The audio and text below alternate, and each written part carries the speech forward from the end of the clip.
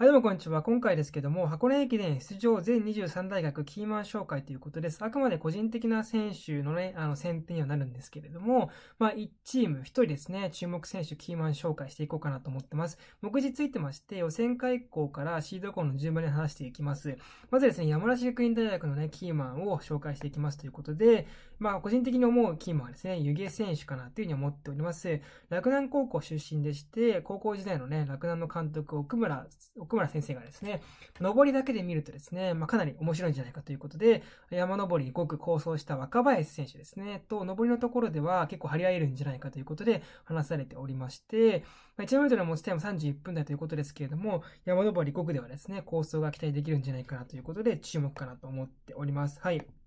続いて、駿河台大学ですね、紹介していきますけれども、駿河台は古橋選手ですね。まあ、伊賀白高校時代は全国高校駅伝4区で8人抜きということで、ロードでね、構想しておりまして、まあ、1年生からね、予選会では、公園コースの中、公園コースのところで63分半ばということで、非常にいいタイムで走ってきてるんじゃないかなというふうに思っております。まあ、駿河台大学もですね、若い力がね、結構多いなというところではあるんですけども、古橋選手もですね、1年生から箱根出走がね、結構硬いんじゃないかなというふうに思っております。はい。続いてですね、東京農業大学ですけども、キーマは原田選手かなというふうに思ってます。まあ、前田東選手ね、スーパールーキーとですね、並木選手ね、28分16の並木選手。この2人をね、全日本大学記念の時には、まあ、つなぐ役割というか、間に入って3区出走しました。やっぱりですね、持ちタイムを持っていたりとか、実績が豊富な選手が活躍するというのも大事だと思うんですけども、まあ、こういったですね、あの、まあ、こう、28分58ということで、まあ、この上の3人よりはね、少し劣ってしまうかもしれませんが、こういった選手がね、しっかり繋いでいく駅伝として流れを途切れさせないというところが大事になってくるんじゃないかなというふうに思っております。はい、原田選手でした。続いてですね、東海大学ですけども、やっぱり兵道選手かなというふうに思ってまして、まあ、1 0 0 m の持ちタイムをね、ぐいっと伸ばしてきて28分14に来ました。まあ、1500m 3分41というスピードがあって、1年目は少しね、怪我で苦しみましたけれども、今年はね、無線会もね、63分半ばだったりとか、全日本もね、2区でね、まざまざな走りをしておりまして、まあ、非常に仕上がってきてるんじゃないかなということで、もう本番はですね、1区だったりとか、まあ、オールで流れを作る走り、スピードを生かす走り、期待していきたいなというふうに思ってます。はい、続いてですね、中学院大学は、稲見選手ということで、稲見選手ですね、まあ、今年ですね、予選会は出てきてないんですが、まあ、上げようハーフでは62分46ということで、1年生ながら62分台ですし、まあ、1万メートルの日体大記録が28分台に始まり、まあ、本当にね、前半シーズンからもね、28分台出したりとか、安定感のね、ある1万とかハーフのところでは、まあ、すでにですね、学内でもね、トップのタイム出してきてるんじゃないかなというところで、まあ、1年生の出走硬いんじゃないかなと思いまして、安定感をね、見せつけてほしいなというふうに思ってます。はい。続いてですね、国士舘大学ですけれども、まあ、生駒選手ですかね、今年の予選会ではですね、63分04ということで、学内のね、日本選手ではトップのタイムで走ってきました。まあ、全日本でもね、3区ということで主力が集まる区間をね、務めておりますし、はい。まあ、ぜひですね、あの、2年生ということですね、箱根駅伝は初出場かなと思いますけれども、頑張っていってほしいなと思っております。はい。個人的にはですね、好きな YouTuber が一緒ということでですね、思い出もあるなというとこです。はい。続いてですね、神奈川大学ですけども、やっぱ宮本選手ですね。まあ、高校駅伝はですね、あの、佐藤慶太選手と同じ台のところで、あの、4区区間賞を取っておりまして、あの、まあ、ロード駅伝ね、強いんじゃないかなと思ってましたが、去年はね、箱根駅伝出走ならずというところでした。今年はですね、予選会で63分09というところですし、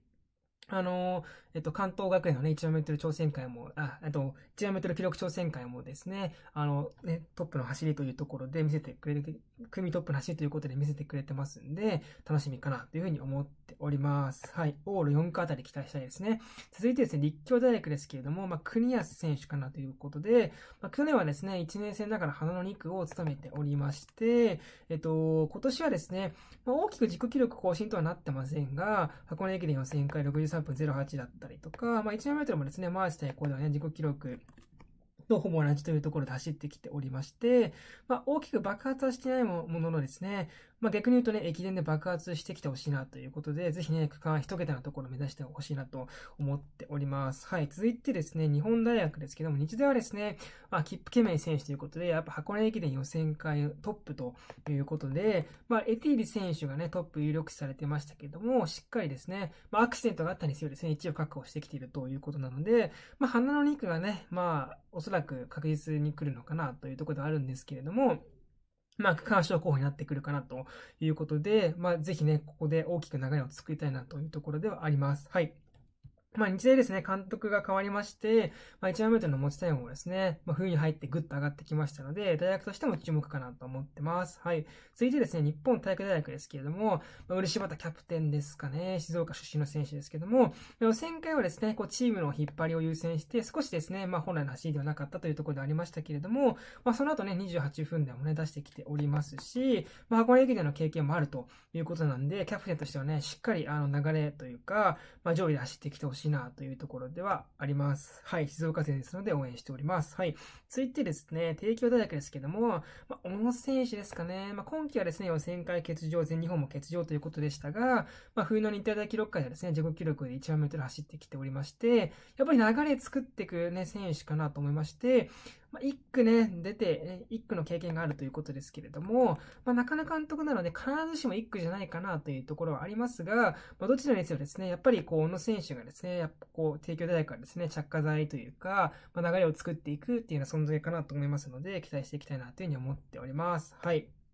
続いてですね、明治大学ですけれども、あ、抜けちゃってますね。明治大学はですね、まあ、尾崎選手ですかね、キャプテンということで、まあ、明治に関してはですね、まあ、今年ね、ぜひ資料取ってほしいなと思うんですけども、尾崎選手がですね、ちょっとね、あの、足のね、こう、怪我のところとか故障があって、どれぐらい走れてくるかって結構変わってくるのかなと思いまして、まあ、箱根駅伝ね、全体的にタフなコースではあるんですけれども、尾崎選手本来の実力であれば、主要区間とかタフなコースが走れるんですけども、まあ、ぜひですね、あの、の、足をね、しっかり万全にして、タフコースでですね、まあ、シード権に貢献する走をしてほしいなっていうふうに思っております。はい。続いてですね、大東文化ですけども、まあ、ワンジル選手かなと思いまして、まあ、日本選手もね、かなりね、面白いメンバー、層の厚いメンバー揃っておりますけども、まあ、ワンジル選手のね、出走が結構鍵を握るのかなと。まあ、個人的にはね、まあ、4区とか3区とかがいいのかなと思ってまして、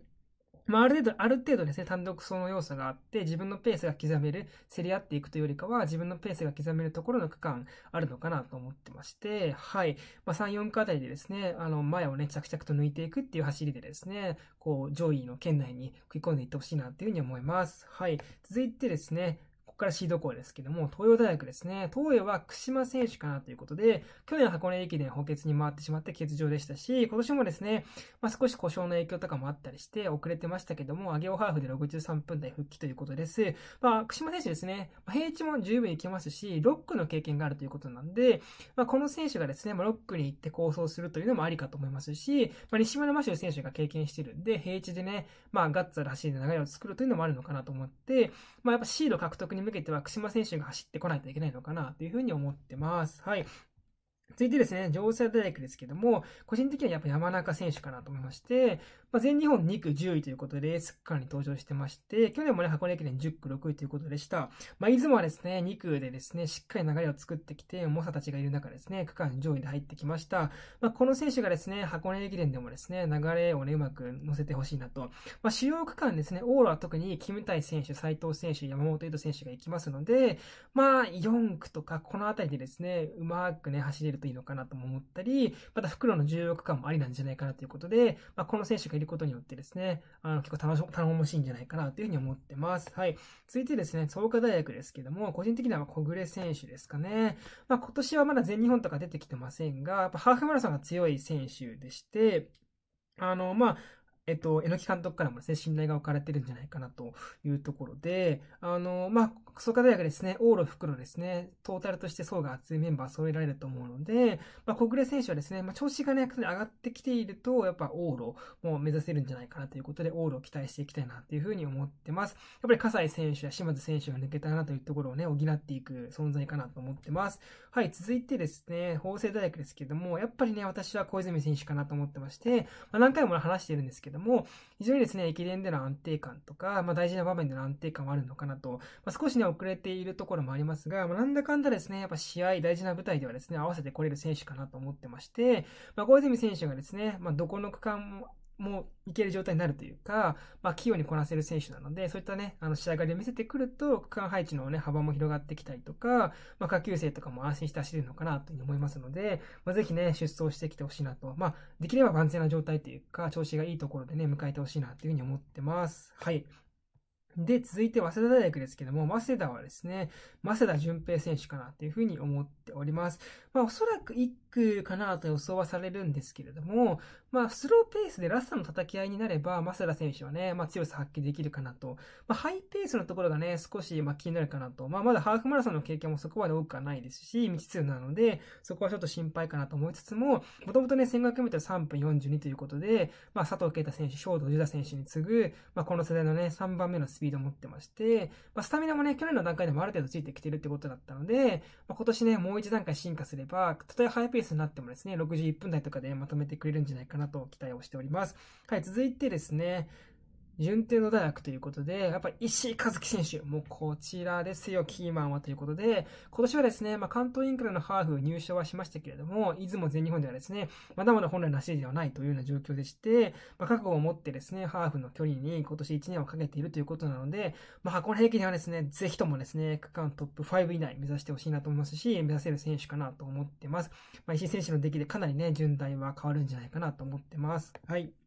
続いてですね、国学院大学ですけども、国学院は伊地選手かなと見てまして、まあ、全日本が終わった後ですね、まあ、11月の中旬というか、そのぐらいの時期から私はね、4区来るんじゃないかなと思ってまして、まあ、直前のね、記事とかでもね、4区あたりっていうことも出てきてまして、やっぱりここでですね、あの、伊地選手が走ってきて、駒沢というか、優勝候補の駒沢にですね、やっぱ背中を見せるとか、追撃していくっていうのがね、ポイントになってくるかなと思ってまして、まあ、伊地選手ですね、2区もね、袋も山登りもいけるということで、オールマイティにこなせるね、頼もしい存在ですけれども、やっぱ狙っていく、優勝狙っていくっていうところを見ると、4区に来るのがいいんじゃないかなと、まあずっとね、11月から言ってるんですけども、ぜひね、そういったね、こう、配置見てみたいなと思ってます。続いてですね、はい、青山学院大学ですね。青学はね、倉本選手かなと思ってまして、4年生ですね。なかなかね、こう、学生駅伝出走の機会に恵まれませんでしたけれども、世田谷ハーフ、前下横線でですね、しっかりアピールできてエントリーしてきたのかなと思ってます。まあ、個人的にはね、結構走ってくる角度高いんじゃないかなと思ってまして、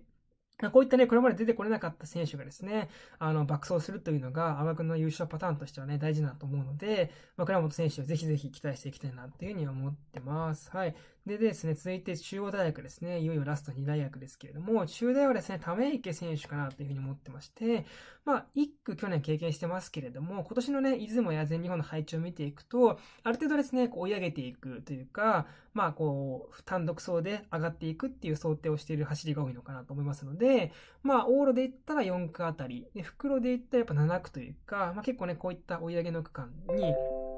あの、配置されるんじゃないかなということで、まあ、全日本もですね、さらにもう、全日本からはさらにもう一段階上がっていくというのがね、大事なんじゃないかなというふうに見てますけれども、はい。どうでしょうか？注目かなと思ってます。はい。で最後は駒沢大学ですけども、まあ、駒沢はやっぱね、木山選手、キーマンかなと思ってまして、あの、直近のというか、まあ、冬に入ってきてね、5000メートル復帰戦で13分30秒で出してきまして、まあ、山下り候補としてですね、去年もいまして、箱根駅伝メンバーに入ってきました。木山選手が山下りでま58分半ばとか、ある程度走りが見込めるということであれば、去年ね、6区区間車の伊藤選手のね、配置がですね、あの、平地に回せたりとか、かなりですね、幅が広がってより盤石になってくるかなと思ってまして、まあちょっとね、あの、5000m13 分30というのが復帰戦というポイント、ここが気になりますけれども、秋山選手がですね、きちっとロック走れるということで、見込みが立てば、まあ、駒沢はさらに優勝が硬くなってくるんじゃないかなということで、さあ非常に大事になってくるかなと思っております。ということで、ざっとですね、本当に短くですけれども、各大学のですね、全23チームのキーマンを紹介してきました。皆さんが思うね、大学のキーマンだったりとか、注目選手もぜひコメント欄で教えていただければな、というふうに思っております。ということでお届けをしていきました。いよいよね、箱根駅で迫ってまいりましたので、まあ、区間エントリー29日ありますけれども、注目して迎えたいなと思ってます。